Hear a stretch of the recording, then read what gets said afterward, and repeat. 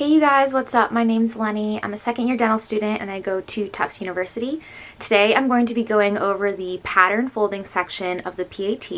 The PAT is the perceptual ability test within the DAT and the DAT is the dental admissions test that you have to take in order to get into dental school. So today I'll be going over pattern folding and yeah, let's get into this video. Pattern folding is the section we will cover in this video. Like all sections, there are 15 questions, and I recommend about 60 seconds per question, for a total of about 15 minutes in this section, this section being one of the more time-consuming sections. In this section, a flat pattern is presented, which will be folded into a 3D figure, and you will have to determine which of the four answer choices is the correct 3D figure and all folds are made into the screen and away from you. It sounds easy enough, but to be honest, I found this section to be one of the hardest sections of the PAT. So let's go over some of the strategies. In figures with unique shapes, a great strategy is to eliminate answer choices that do not have this unique pattern in them. So for this example, the flat pattern has this unique shape with the rounded back. So you can tell that B and C do not have this shape. And then D has the wrong proportions. So looking at A, you can tell it does have this unique shape, and you know it must be the correct answer.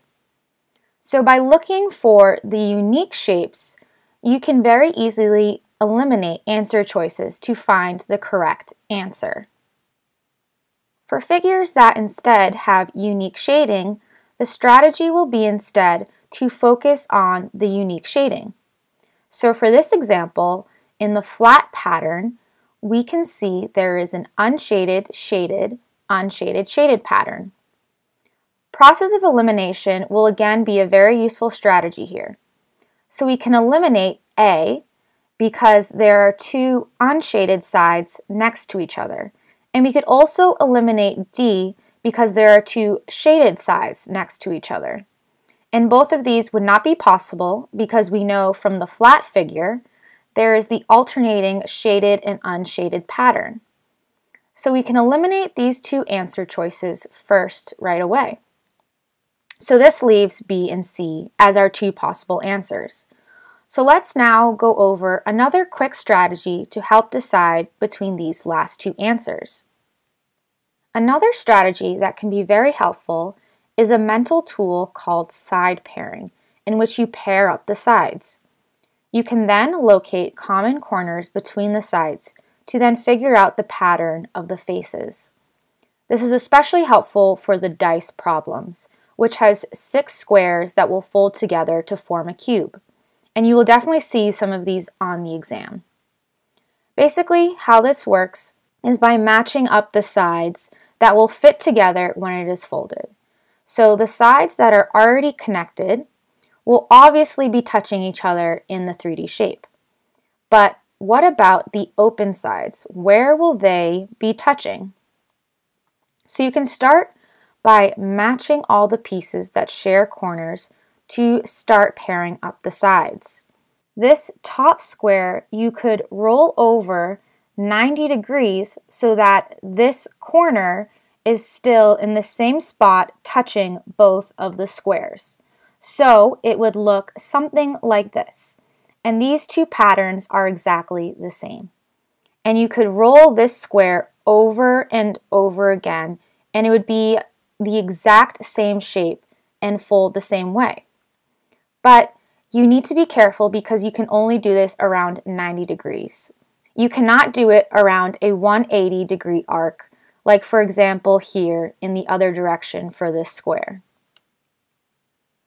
Okay, so now let's go back to the problem. We already ruled out A and D, so let's use the side pairing method to figure out between B and C.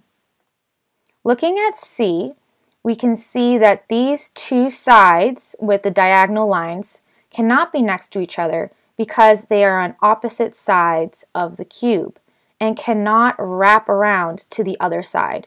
so C cannot be the correct answer either. So the correct answer must be B. So here is another dice problem. So let's first start by looking for a unique shade, since all the shapes are the same in this problem. So for this problem, I would say the unique shape is this little shaded square here in the corner. So we can focus on this to solve the problem. So let's look at which sides this one will pair with. It could rotate here to side pair with this one, or rotate here again to this side, or rotate again over here.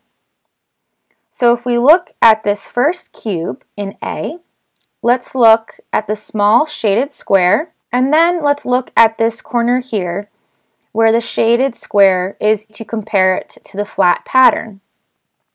So let's identify where that corner would be in the flat pattern. Let me get rid of these arrows here to make it a little easier to look at. And I'm going to bring the figure down here to allow for better visualization. Okay, so this corner would be right about here.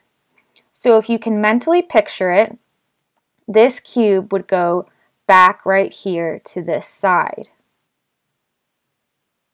So now we can look at this corner and if we look back at answer choice A, we can see that this is not a match because in the answer choice, the shaded triangle is at the corner, but in the diagram I redrew with the square turned here, you can see the corner has an unshaded triangle. So we can eliminate A. We can also very quickly eliminate answer choice C because we have the same corner here.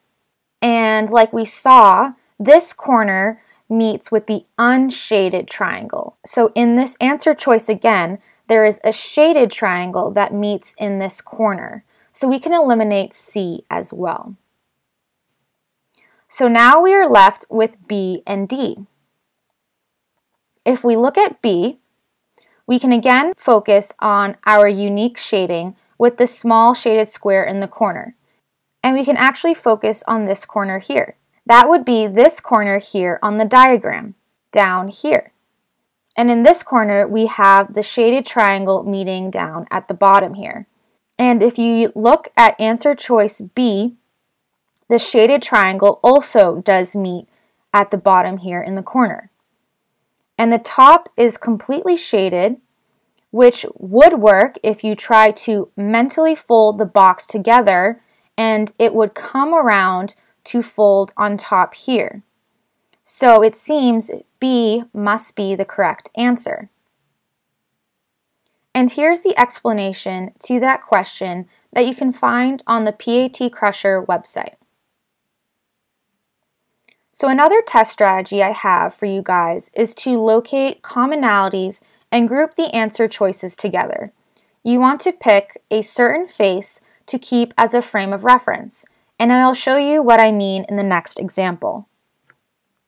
So in this example, there is no unique shape or a unique shade. So let's find a commonality in the answer choices and eliminate this way. So right off the bat, I can see that three of the answer choices have the one dice face on the front. So let's use this commonality to compare the answer choices. Looking at A, you can quickly tell it is wrong by looking at the three face.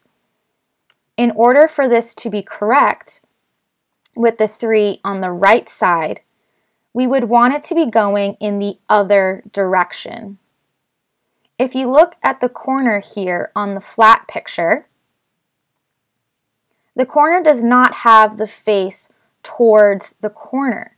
It is going in the other direction. So we can eliminate A. So now let's look at B we can see that the three face is correct on top here because by looking at the flat diagram, the three is going in the same direction. If you just imagine that it just folded down a little bit. So now we need to look at the five face of the die. which is actually symmetrical, so it doesn't matter which way it faces. And we know it would go here because by looking at the diagram, you can mentally imagine the 5 face would move down to fit here. Whereas if you look at answer choice C, which has the same 1 face and the same 3, but on the left side it has a 4 face, which could not be possible to go here. This is actually where the 2 face would go if you mentally imagine this 2 face folding down. So the correct answer must be B. And here's the explanation to this problem.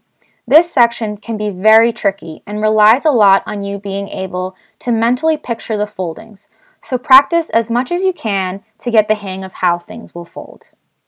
Okay guys, I hope you found this video helpful and if you want more practice problems, you can check out the PAT Crusher website. I actually have a code for you guys. It's Eleni PAT20 for 20% off your account with PAT Crusher. And make sure to subscribe down below so you don't miss any of my upcoming videos. And thank you guys so much for watching and I hope to see you guys in my next video. Bye!